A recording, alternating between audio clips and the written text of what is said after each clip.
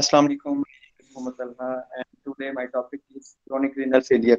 Last time हमने discuss किया था acute renal failure. आज हम डिस्कस करेंगे chronic renal failure. Chronic renal failure को मैं सिंपली डिफाइन करता चलूँ ऐसी कंडीशन है जिसके अंदर स्लोली और प्रोग्रेसिवली इरिवर्सिबल डैमेज होता है किडनी के टिश्यू का इसकी वजह से किडनी के फंक्शनिंग जो है, वो डिस्टर्ब होती है और अल्टीमेटली स्टॉप कर जाती है किडनी के हर तरह के फ़ंक्शन इसमें डिस्टर्ब होंगे।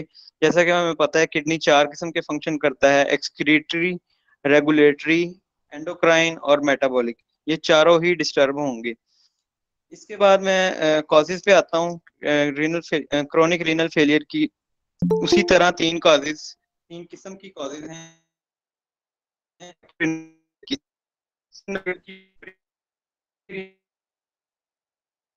क्रोनिक रीनल फेलियर की भी तीन ही काजेज में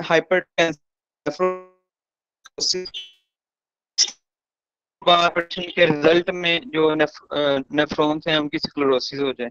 इसी तरह रीनल आर्टरी स्टीनोसिस है कि जो आर्टरी सप्लाई करती है ब्लड हमारे किडनीज को वो स्टीनोज हो जाए तंग हो जाए। इस तरह मूव करते चलें तो फर्दर रीनल काजेज में आ जाए हम तो इसमें ग्लोमेरुलर हैं। ग्लोमेरुलर में फर्दर प्राइमरी ग्लोमेरुलर हैं और सेकेंडरी ग्लोमेरुलर हैं।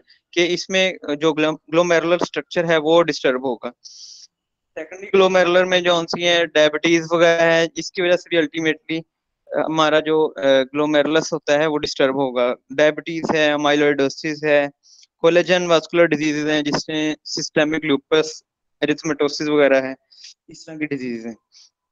इसके अलावा हेरिडिटरी काजेस भी हो सकती हैं जैसे पोलिसिस्टिक किडनी डिज़ीज़ है मेडलरी सिस्टिक डिज़ीज़ वगैरह है।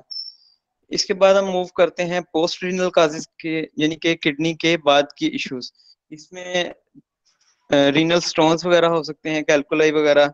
इसी तरह प्रोस्टेटिक ऑब्स्ट्रक्शन भी यानी कि किसी में प्रोस्टेट प्रोस्टेट लार्ज हो और वो प्रेशर डाल के यूरिथ्रा वगैरह को ब्लॉक कर रही हो ऑब्स्ट्रक्शन काज कर रही हो, उसकी वजह से फिर फ्लूड यूरिन की डिटेंशन होगी और अल्टीमेटली बैक एंड पे नेफ्रॉन्स जो उनसे हैं वो डिस्टर्ब होंगे, जैसे हाइड्रोनेफ्रोसिस वगैरह होती है।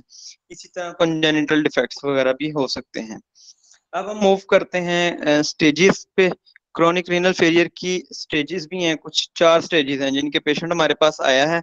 हम उसकी कुछ इन्वेस्टिगेशंस करेंगे और फिजिकली इसको देखेंगे जिसकी बेस पर हम इस डिज़ीज़ की स्टेजेस कर सकते हैं कि पेशेंट इस वक्त किस स्टेज में है, फिर उसी स्टेज के मुताबिक उसको मैनेज भी किया जाता है। स्टार्ट करते हैं हम फ़र्स्ट स्टेज है, इसी तरह सेकंड स्टेज है थर्ड और फोर्थ फ़र्स्ट स्टेज के अंदर इनमें मेनली जो से देखा जाता है यूरिन आउटपुट देखा जाता है।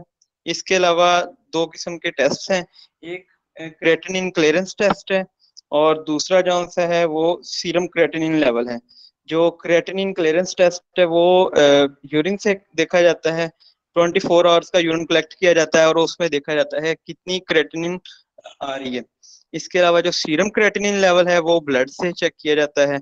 जो हम नॉर्मल भी देखते हैं आर के अंदर जो क्रेटिनिन लेवल होता है यूरिया और क्रेटिनिन वो वाला जो क्रेटिनिन लेवल है, वो देखा जाएगा।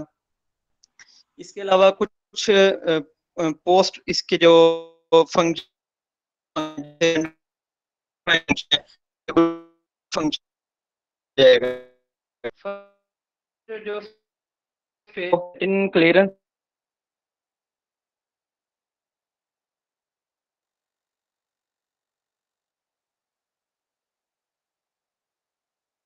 क्रेटिनिन पर मिनट तक आ जाती है। थर्ड स्टेज के अंदर ये उससे भी कम हो के एट मिलीलीटर पर मिनट तक आ जाती है और जो फोर्थ स्टेज है, उसमें ये फाइव मिलीलीटर पर मिनट से भी कम हो जाती है।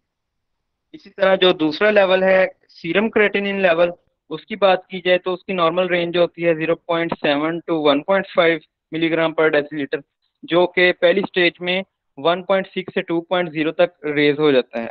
इसके बाद सेकंड स्टेज की बात करें तो उसमें टू से लेके फाइव तक रेज हो जाता है ब्लड के अंदर क्रेटिनिन का लेवल इसी तरह जो थर्ड स्टेज रीनल फेलियर होगा, उसके अंदर creatinine level 8 milligram per decilitre तक पहुँच जाता है। और इसके बाद जो फोर्थ है और लास्ट स्टेज है, उसके अंदर 12 से भी अबव बढ़ जाता है।